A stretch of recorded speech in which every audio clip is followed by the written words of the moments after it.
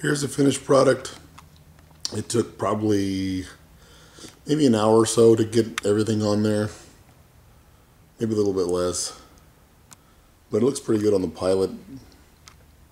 It adds to its bold, distinctive look. I put a uh, makeshift lock on it just to keep it from being taken accidentally. Can see it mounts up pretty well.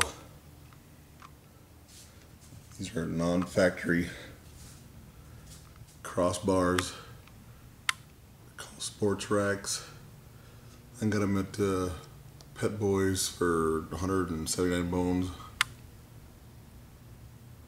And the Rola came, like I say, in a couple of days, five days I think, with the free um, UPS. Um, I think I paid 179 for the roof rack as well. So not not too bad. I think it looks good. I think it actually makes less wind noise now that I have the roof rack because I rode around with just the um, the cross members for about a month or two and I could hear it. Whereas now I think there's just enough wind deflection from that structure to kind of minimize the noise. Rola roof rack, a Honda Pilot 09. Recommend.